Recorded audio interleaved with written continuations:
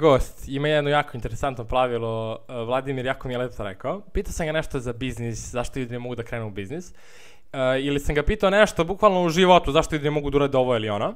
I on mi je rekao imaš pravilo 5 sekundi. Uzmi nešto da radiš na 5 sekundi i što dužih po 5 sekundi bude prolazilo, da će da budeš više u samom flow rada i krenut ćeš da radiš to. Da, da pojasnim ljudima koji nisu kapirali. Uh, ako te mrzi ideš u teretanu da treniraš, samo idi na mesto gde ljudi treniraju i sedi tamo 5-10 minuta. Posle nekog vremena, ja ti garantujem, da ćeš sam krenuti da treniraš, da ćeš vidjeti druge ljude koji prave progres, koji treniraju i ti ćeš da kreneš s njima. U Kini ili Japanu ima jako interesantan koncept iznajmljivanja kancelarija. Znači, iznenađu se kad sam video.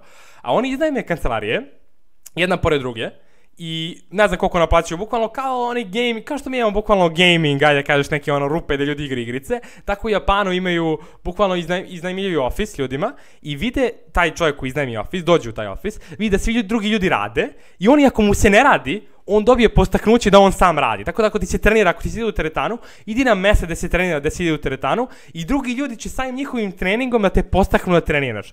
Pak, ako ne ideš u teretanu, ako ne ideš na neka mesta drugi ljudi treniraju, ako treniraš kući, uzmi i samo kreni. Reci sebi, uradit ću 5 flekova, pa posle ako ne bude mogu neću da treniram. Ja ti garantujem da ćeš posle 5 flekova da uradiš još 5, još 5, još 5, još 5, dok ne budeš završio zacrtani trening za taj dan. Znači to pravilo 5 sekundi je mnogo važno ako hoćeš nešto da uradiš. Znači samo uzmi nešto da radiš 5 sekundi. Proći još 5 sekundi, proći još 5 sekundi, još 5, još 5, još 5 i sve ćeš više i više da uđeš u to. I meni se milion puta dešavalo, nešto mi se ne snima, ne radi mi se. Ja samo sebe ošamarim, ajde Ilija 5 sekundi. 10 sekundi proći, 20, 30. I ja već uđem u to. Tako i s treningom, profesionalni sportisti, oni se prvo zagraju pre treninga. Ti isto, pre treninga idi na mesto gde se trenira. Uplati teretanu, samo uplati i svaki dan dođi, ili svaki drugi dan dođi u zatrtano vreme. Samo dođi, znači i šetaj, šetanje ti nije problem. Stavi neku muziku i šetaj do teretane, i šetaj do parka. Uradi jedan zgib. To je mnogo bolje. Sutra ću dva zgiba. Treći dan tri izgiba, nije bitno. Bitno da postoji neki napredak. Koliko god da je mali napredak, on je napredak. I nešto sam naučen od malena. Nikada, nikada nemoj da osuđuješ čoveka koji pravi napredak, ma koliko onda je mali. Samo pravi napredak. I vremenom bit ćeš iznenađen kada ćeš hvala ti Ilija, za tri meseca ćeš bukvalno da ideš redovno u teretanu. Redovno ćeš ići u teretanu, možda šest puta nedeljno.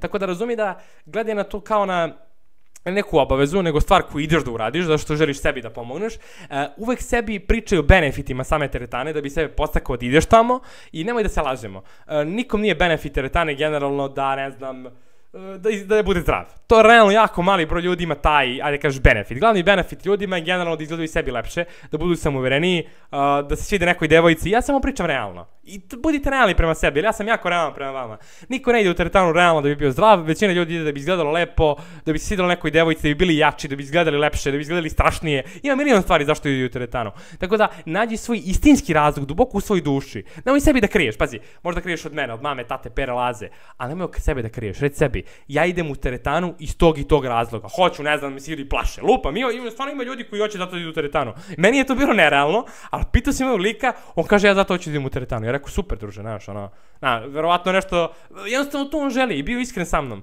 Ti možda želiš, ne znam, neku devojku da impresioniraš. Jednostavno, nađi svoj dubok razlog i zacrti sebi, želim iz toga i toga da idem i svaki put kad ti se ne ide, Uh, zapiši taj benefit, na primjer, uh, tu devojku će smuva neki drugi lik. Sutra kad budem otišao, bit ću kinjen ili sam debeo kao svinja. Nebitno, samo daj sebi jak razlog da ideš u tu teretanu. Ili bilo gde, nije bitno, uh, da radiš. I nađi okruženje gde će bukvalno da... nađi okruženje gde će bukvalno da, gde će biti ljudi koji već to rade. Kažem ti u Japanu, ljudi koji, hođu, koji kutkaju na kompjuteru, iznajme taj ofis i budu naterani to da rade. Tako isto i ti. Nađi neki ofis, nađi neko okruženje gde si nateran da treniraš. Kažem ti, parkić, teretana, nebitno, nebitno. Samo idi u neko okruženje, natrtaj se tamo i to nek ti bude cilj. Prvih mesec dana, ili prvih nedelju dana ako si jači, nek ti samo bude cilj da odeš na to mesto treninga i da se vratiš kući. Nebitno. Znači, napiši se i benefite koji ti trebaju i, i bukvalno samo idi i prvih nedelju dana ti bude cilj samo da odeš do tamo. Pa onda posle nedelju dana ti bude cilj da uradiš jednu vežbu. Nije bitno. Ali većina ljudi koji su ili normalni će ako odu samo, trenirat će. Samo ako odu. Evo, ja sam takav. Ja samo odem i treniram. Jednostavno ne mislim puno o tome. I treba neke stvari mehanički da radiš. Vožnja kola, da odeš u teretanu, neki to bude mehanički. Nemoj da misliš pretarano o tome, jer što više misliš, što će tvoj mozak ti kaže, jaoj, pa mogu bi da sedim kući, da ostanem u zoni komfora i samim tim upropastiš samog sebe i počneš se kaješ za to, tako da eto.